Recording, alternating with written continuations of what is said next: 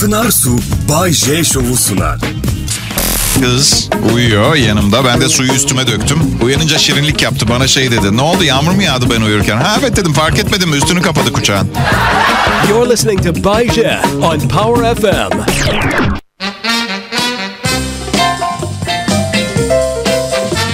İyi akşamlar millet. Perşembe akşamı 2017'nin 19. günü. Size bütün bilgiyi verdim. Hangi ayın kaçında olduğumuzu da siz bulun. Evet. Hangi ayın kaçı? Ocak ayının 19'u. En iyi en yeni müzik burada. Power FM'de. Benim adım Bayşe. Ünlü bir radyo karakteriyim ve biliyorum bir insanın ünlü olduğunu hatırlatmak zorunda kalması belki de o kadar ünlü olmadığını gösteriyor olabilir ama bu ancak bu mesele umurumda olsaydı bir problem olabilirdi. Bakın gözünüzde büyütmeyin ün şöhret filan. Ben de sizin gibi cebindeki parayla ay sonunu getirmeye çalışan bir vatandaşım tamam mı? Halit Ergenç de öyle. Ali Ağaoğlu değil. Ali Ağaoğlu değil. Nasıl yani Bayşe?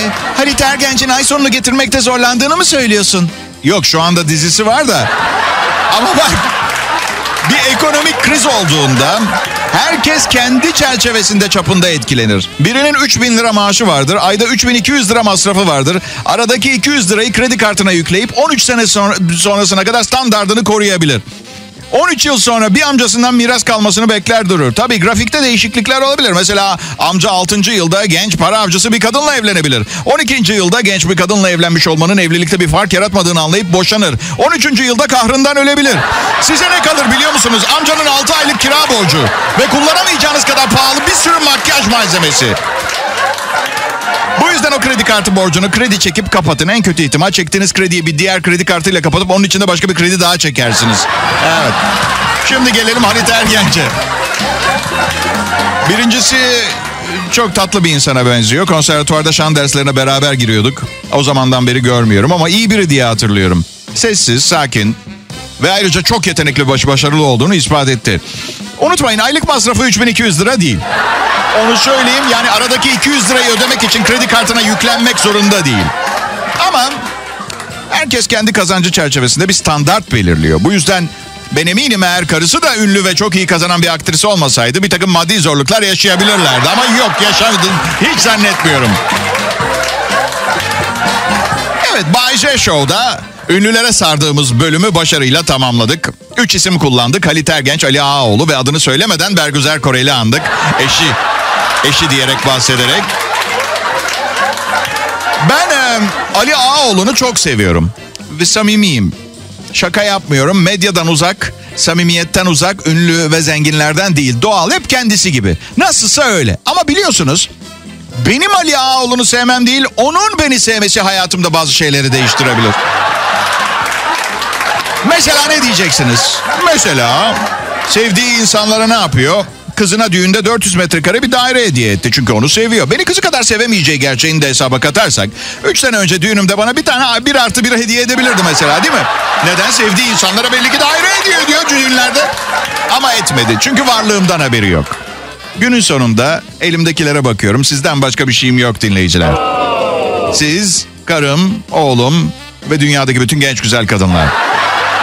Bu arada bilimsel bir veriyle kapatalım bu bölümü. Genç güzel kadınlara olan saplantıya bir isim vermiş bilimciler. Erkek adını vermişler. Evet. Ee, bir mekandayız. Abi burada iyi aile kızları var mıdır dedi. Biliyorsunuz ben ciddi düşünüyorum dedi. Hepimiz bir ağızdan tabii dedik hepsi iyi aile kızı. Ve hepsi çok ciddi düşünüyor. Bak şurada elinde içki şişesi olan kız var ya çeyizi hazırmış. İstersen hemen ayarlayalım sana. Merhaba millet burası Power FM Bay J'yi dinliyorsunuz şimdi. Bu programı bugün dinlemeye başlamış olanlar sizi harika bir macera bekliyor. Mesela ben geleceğinizi görebiliyorum. Bir sonraki anonsu da dinleyeceksiniz. Ay evet. Benzeri yok oğlum bu programın. Kızım. Evli olan var mı aramızda? Ha? Evet. Bekarlar ses çıkarsın. E, woo! Bekarlar her zaman daha çok ses çıkartır. Hey, evet bekarım. I believe I can fly. I can fly. Evli olan 100 erkeğe sorun nasıl diye 85 tanesi sakın yapma şu halime bak bitirme kendini. Bak yüzümün sağ tarafı felç. Doktorlar nedenini bilmiyor ama ben biliyorum. Söyleyeyim mi sebebini? Evde karıma söylemek isteyip söyleyemediklerim yüzünden.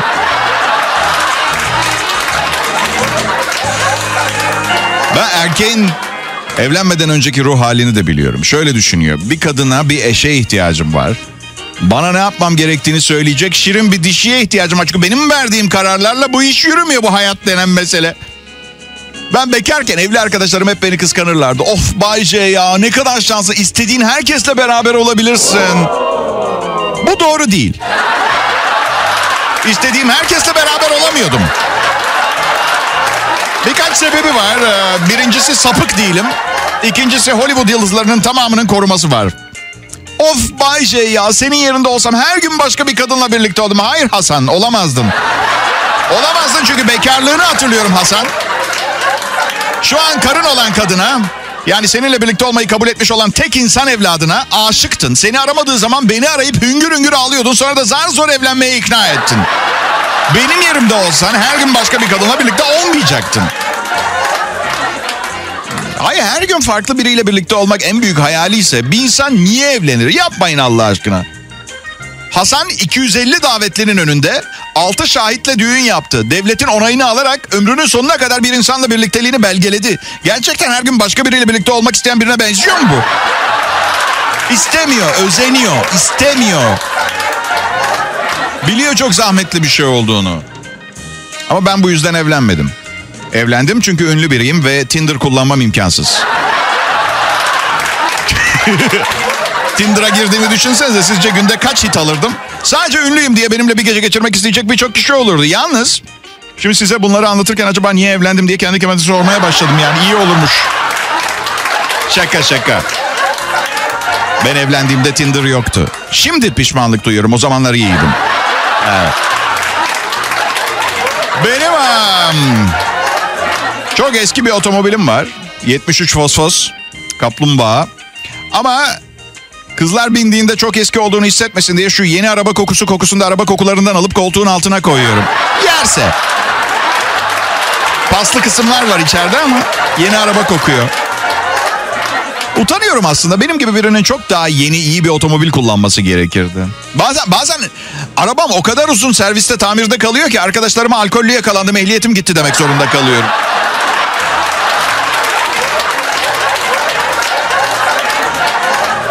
Bir randevuda kızın sizden hoşlanmadığını nasıl anlarsınız biliyor musunuz? Benim bir kez başıma geldi. Kız gecenin bir yerinde aynen şöyle dedi. Gömleğin çok güzel aynısından erkek arkadaşım da var. ne? Erkek arkadaşın mı?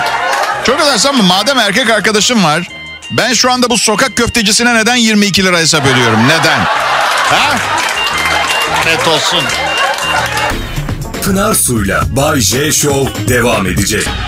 Pınar Su'yla Bay J Show devam ediyor. İyi değilim arkadaşlar. Kolesterolüm yüksek, trigliserit tri- adını bile söyleyemediğim şeyim yüksek. Et yemiyorum, karbonhidrat yememem gerekiyor. Çiğ sebze meyve de mideme dokunuyor. Reflüm var. Üç beyazdan kurtul dediler. Bir tanesiyle başladım. Koku, e, şekeri bıraktım. E, tamam lanet olsun. Hayatta hiçbir şeyi merhaba. Keyfiniz yerinde mi? Değil mi? Birazdan gelecek. Power FM'de Bay J'yi dinlemeye başladınız. Nasıl zaten programın başından beri dinliyor muydunuz? E rezalet o zaman. Çok korkunç. Ne diyeceğimi bilemiyorum. Çok üzgünüm. Mizah anlayışınızı kaybetmişsiniz. Doktora gitmeniz lazım. Ben işimi seviyorum. Sevmeniz lazım. Yoksa iyi performans veremiyorsunuz. Bence misal bürokrasi mesela işini sevmeyen insanlar yüzünden oluyor. İsteyerek, severek, zevk alarak yapsalar hemen halleder de işte işinizi. Bürokrasi olmazdı yani. Sıradan bir işim olmadığı için memnunum ben. Eskiden vardı. En berbat tarafı geç kalmak. Sevmediğiniz işte çalışıyorsunuz ve geç kalıyorsunuz. geç kalmak zaten kötü.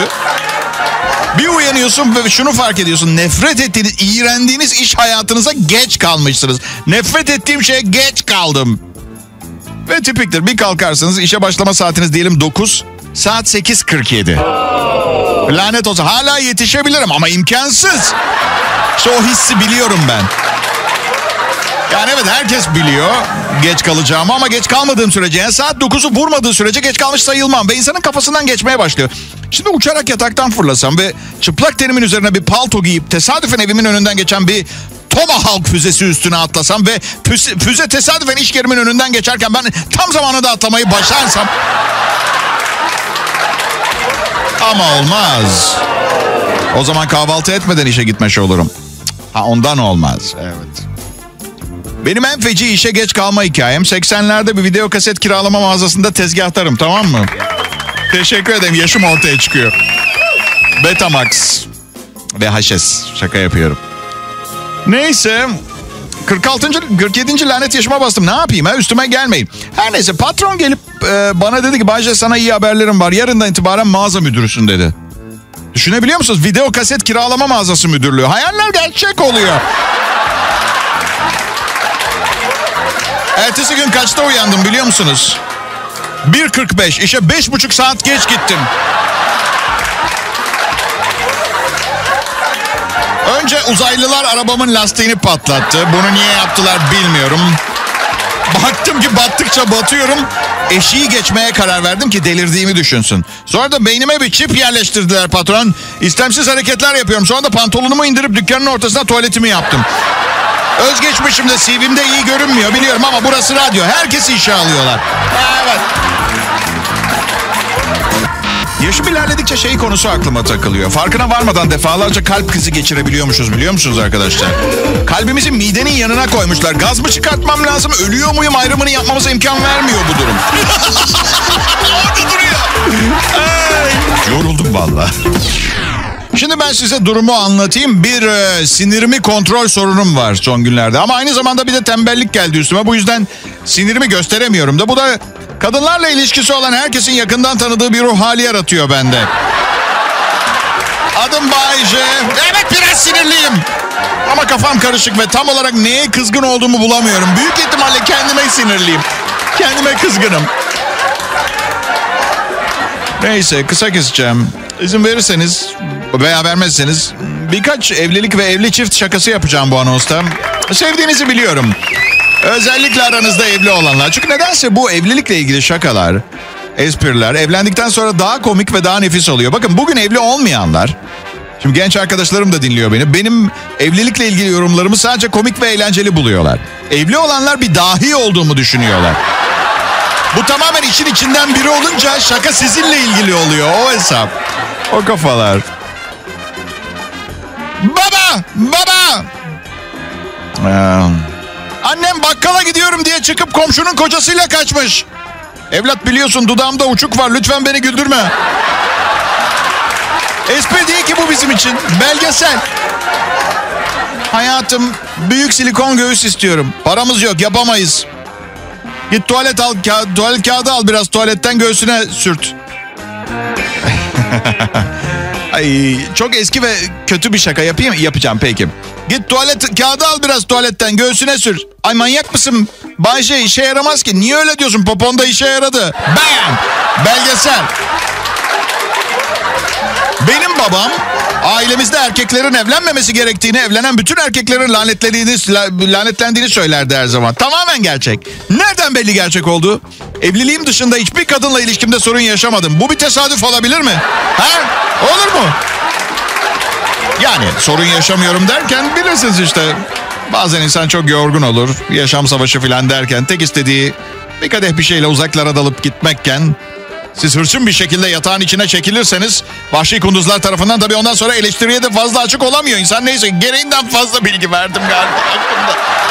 Sonuç bir erkek evlenene kadar asla tam olmamıştır. Evlendikten sonra da bitiktir. Bilinç altında evli olmadığına inanan evli erkekler arada bir yerde kalıp hayatta hayata bir yerinden tutunabiliyorlar. Hepinize iyi şanslar diliyorum. Birazdan havayı koklayan adam geliyor. Pınar Su'yla Bay J Show devam edecek. Pınar Su'yla Bay J Show devam ediyor.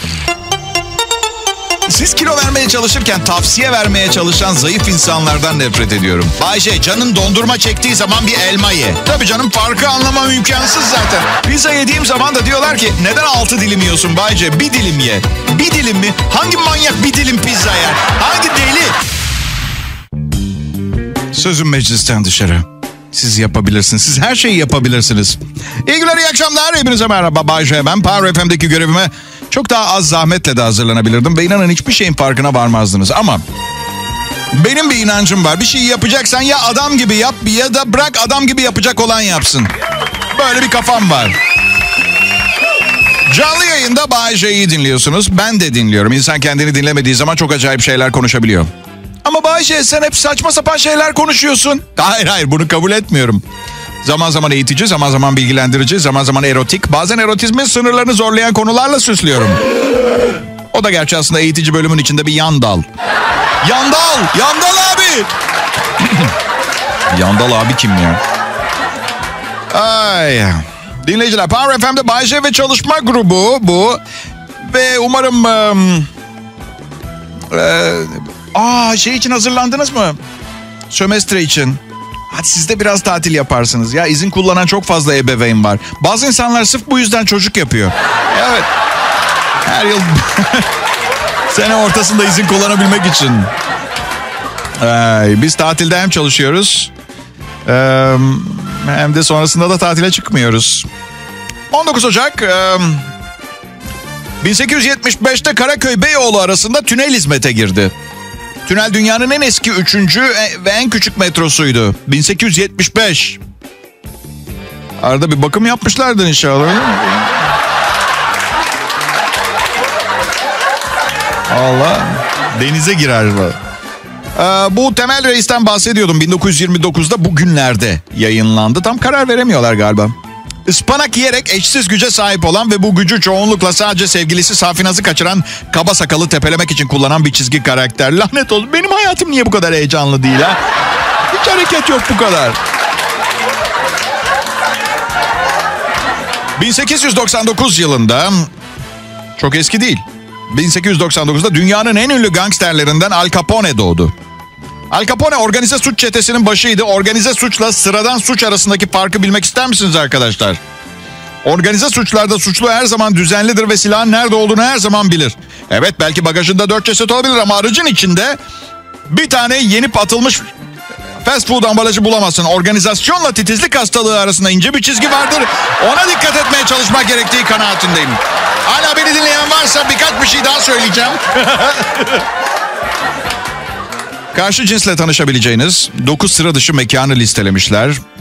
Flört uzmanı Sherry Emenstein'a göre karşı cinsten biriyle tanışma fırsatı bulabileceğiniz 9 yer varmış. Şöyle listeliyorlar. 1. Köpeğinizi bir parka yürüyüşe götürün. 2. Dans dersleri. Şarap tatma günleri veya yemek kursları. 3. Yapı marketlerdeki eğitim günleri. 4. Üstün Zekalılar Derneği Mensa. Gerçek mi bu? 5 hava havalimanları ve tren garları, 6 konserler, 7 online arkadaş bulma servisleri, 8 yerel takımların handball maçları, 9 dörtlü gruplar oluşturup yemek masasında toplayan restoranlar. dörtlü gruplar mı? E bakın ben çok açık fikirli bir insanımdır ama önce kendi partnerimi bir tanıyabilir miyim ben diyorum. Benim bir önerim cinsel hastalık tedavi merkezi. En azından herkes orada niye bulunduğunu biliyor.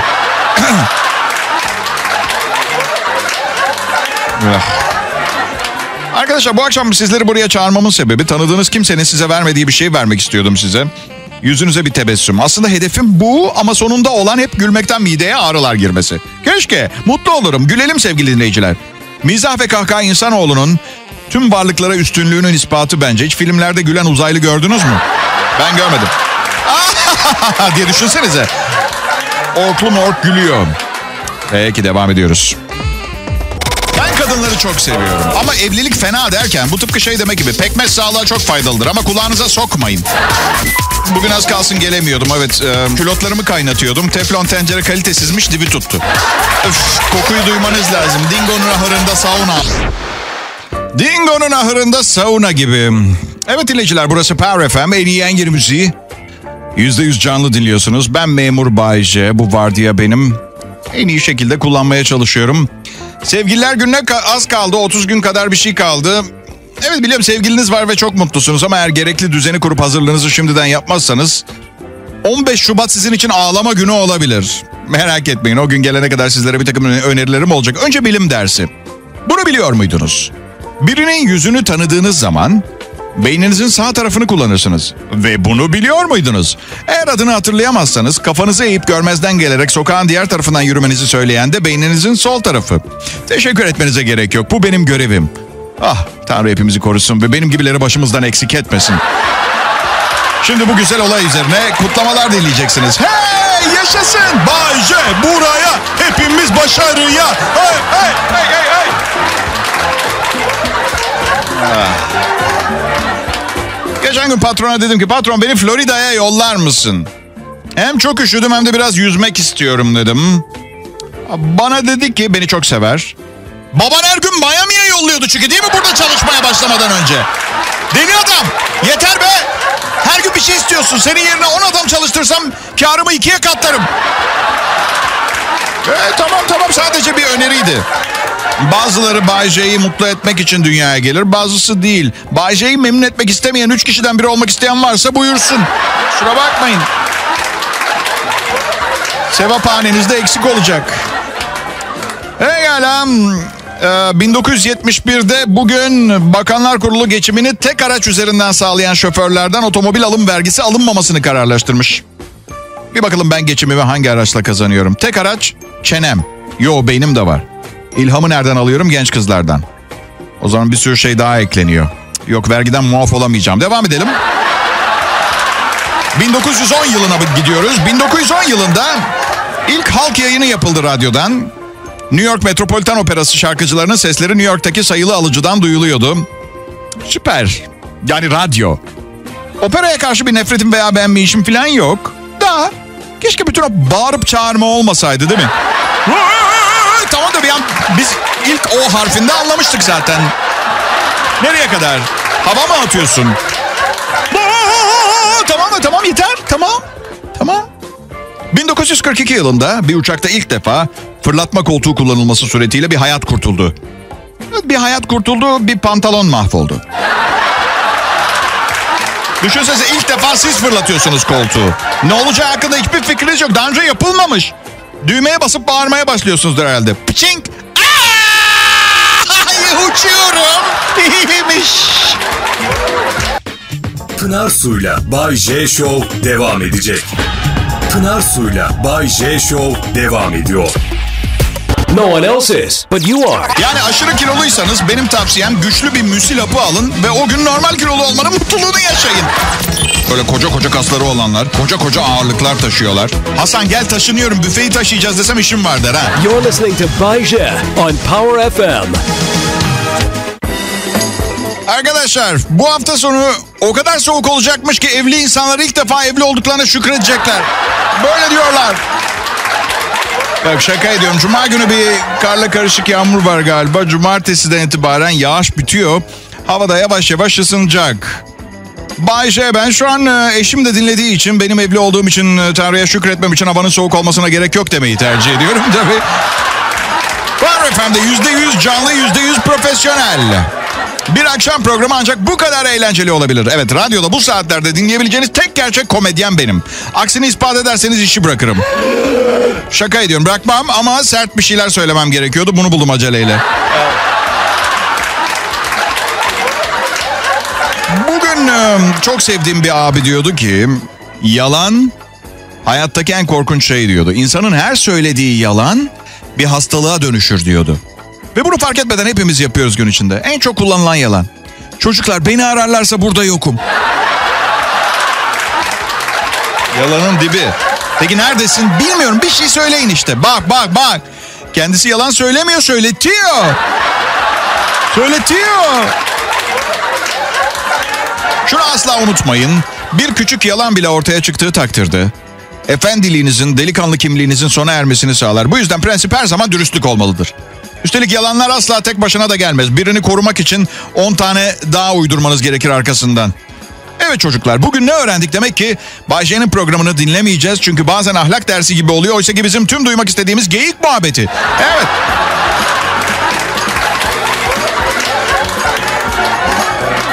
Bunu aileler bilmek isteyecektir. Bir müzik aleti çalan çocuklar okulda çok daha başarılı oluyorlarmış. Buna güvenmeyin. Ben lise boyunca koltuk altımı zortlattım. Hep sınıfta kaldım. Bu yüzden... Ve 1955 yılında nükleer enerjiyle çalışan ilk denizaltı olan Amerika'ya ait Nautilus suya indirildi. Nasıl nükleer olması güvenli mi bilmiyorum. Siz karar verin. 1955'ten önce insanlar tek gözlüydü. Bay J'nin şovuna hoş geldiniz. Ve merak etmeyin biz de kendimizden en az sizin bizden korktuğunuz kadar korkuyoruz. Bu şovda olanlar gerçek değildir. Bazısı gerçek. Hiçbir zaman hangisinin gerçek olduğunu bilemeyeceksiniz. Babam bana dert yanıyordu. Evlat dedi bir mağara adamı olmak isterdim. Sonra da taş devrinde taştan bir tekerlek icat edip 24 saat dırdır yapan annenin üstünden geçirirdim. Annem de daha iyilerini düşünmüyor babam hakkında merak etmeyin. Hakim Bey ne icat ettiğimi bilmiyordum. Ee, bu arada Aralık ayında bol bol alışveriş yapılmış. E tabi ekonomik kriz ve durum malum. İşten kovulacaksınız. Yeni bir pijama, büyük ekran bir televizyon ve rahat bir kanepeniz olması iyi olur. Kim ödeyecek? Bilmiyorum. Arkadaşlar ekonomik durumunuz kötü. Sevgiliniz şirret, aileniz köstekse, moraliniz bozuksa lütfen üzülmeyin. Ben ne zaman üzgün olsam gökyüzüne bakar şöyle bağırırım. Hiçbir şey umurumda değil. Her şey kötü gitse bile Beyoncé beni her zaman sevecek. Sonra da ah deli saçması bunlar. Ben ne acayip biriyim. O zaman niye üzülüyorum ki diye avunuyorum. Ay. Ne yaptığımı bilmiyorum. Mazeret değil gerçekten ya. Ay. Adım Bağcı akşam şovu yapmayı çok iyi bilirim. Aslında sabah şovunu daha iyi yaparım ama sabah dörtlerde beşlerde uyanmaktan nefret ediyorum. Ee, üç, üç buçuk sene kariyerimde yaptım sabah şovu. Nasıl şimdi her akşam gelip sevgi dolu bir program yapıyorsam o zamanlar tam sabah ilk sözlerim şunlar oluyordu. Ne istiyorsunuz? Sizin yüzünüzden sabah bu saatinde uyanmak zorunda kaldım. Biriniz bana kahve koysun Tanrı aşkına. Siz de tahmin edersiniz dinleyici bu şekilde bir tavırdan hoşlanmıyordu. Bu yüzden voila işte yine karşınızdayım. Zaten zavallı arkadaşım e, kan kardeşim Mehmet Ali'yi de işinden etmek istemem değil mi? Arkadaşlar sabah şovu iyi kötü ite kaka gidiyor. Bence fena değil. Bahar mevsiminin ilk cemresinin düşmesine 60 gün falan kaldı. Tamamı karlar altında geçse bile ya iki aylık bir süreden bahsediyoruz. Sevgililer gününe 30 gün. O 14 Şubat Dünya Perakendeciler Bayramı olarak da kutlanıyor biliyorsunuz. Bunu unutmayın olur mu? Tamam. Kınar Su Bay J Show'u sundu.